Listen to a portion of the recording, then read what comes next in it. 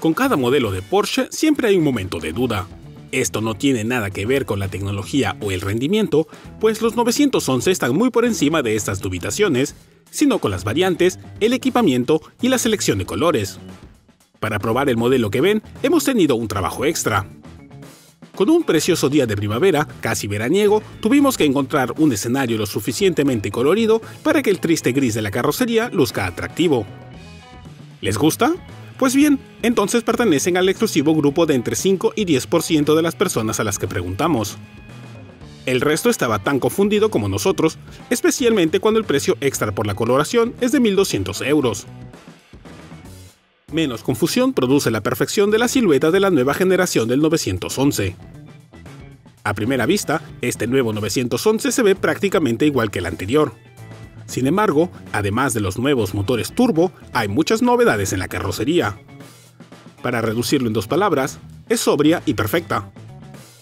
La más clara es la mejora en la parte trasera del 911 Carrera Targa 4S. El nuevo motor Boxer tiene una carga biturbo que ayuda al motor de 3 litros a desarrollar hasta 420 caballos de fuerza. La tracción integral es ahora controlada de forma electrohidráulica, con ello, el Targa 4S acelera incluso más rápido que el Carrera S con tracción trasera. En combinación con la doble transmisión de marchas y el paquete Sport Cronos, el Targa 4S acelera de 0 a 100 en 4 segundos exactos. Su velocidad máxima es de 300 km por hora.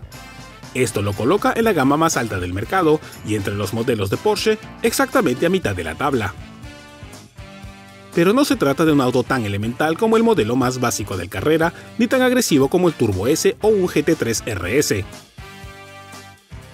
Después de todo, el Targa es 250 kilos más pesado que los modelos más potentes. Quizás, con su pequeña abertura del techo, el 911 Targa 4S es el cabrio más equilibrado que hay.